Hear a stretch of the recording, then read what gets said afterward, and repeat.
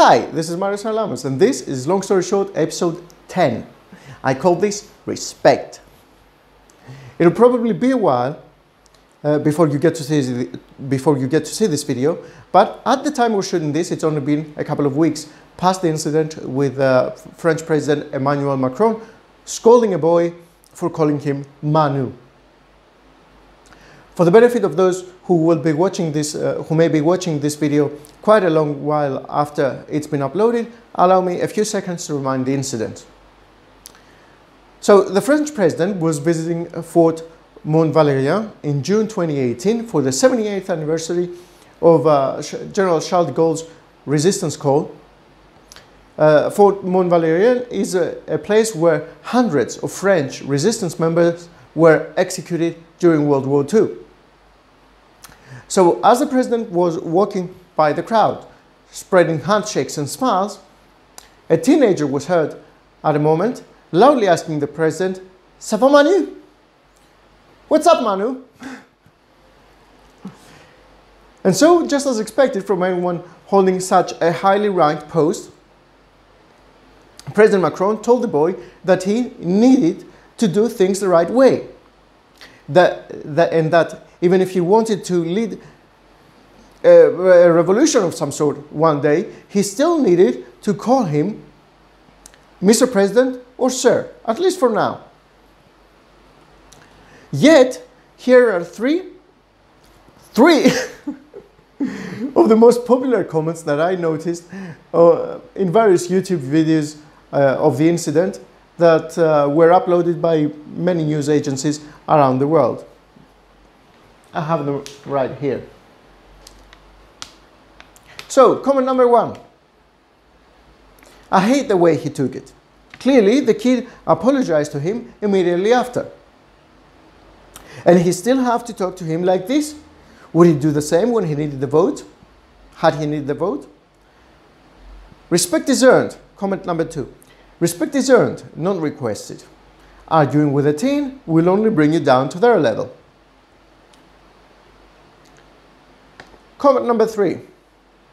He took it too far. He should have just laughed it off. Mr. President will do. Pat him on the arm like he did, then walk on. No need to stand there and go on about it. Okay, let me ask you something. Had the president been a completely unknown man to the teenager, completely unknown, save for his name, and had the teenager run into the president one day uh, on the road at random, would he still call the president Manu?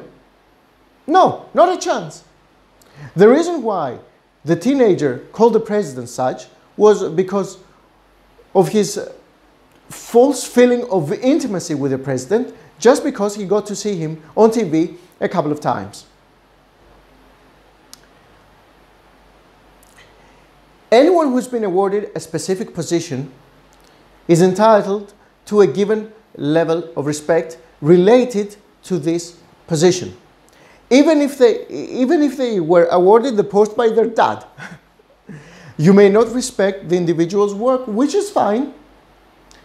Respect, after all, related to contribution is it's the most difficult to be earned, which makes it the most valuable kind of respect. But irrespective of whether you respect an individual's work and individual's contribution, you still need to respect the post. By calling the pre French president Manu, you first and foremost show disrespect towards the position of the president, towards the office of the president, and then the person. I remember years ago, when I first started my career, I was in, in banking back then. I had an excellent, excellent relationship with my manager. We were best buds. One day, the head of our division, who was also a board member at the bank, a very highly ranked person, asked us to prepare a report. And so I prepared the report, sent it in, and sure enough, a few days later, he emailed both me and my manager, inviting us to his office to address some queries of his in relation to our report.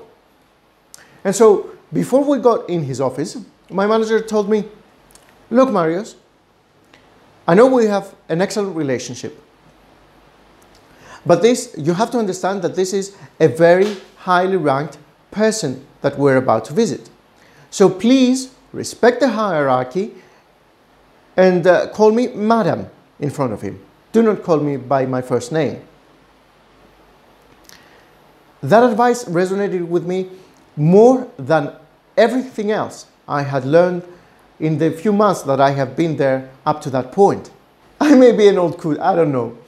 But I feel as if the world has a tendency of becoming overly simple, overly simplistic. Even in the most more simplistic animal kingdom, if you see a zebra among a pack of horses and call it a tiger pony, it will be offended.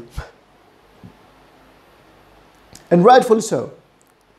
There's a time and a place for everything.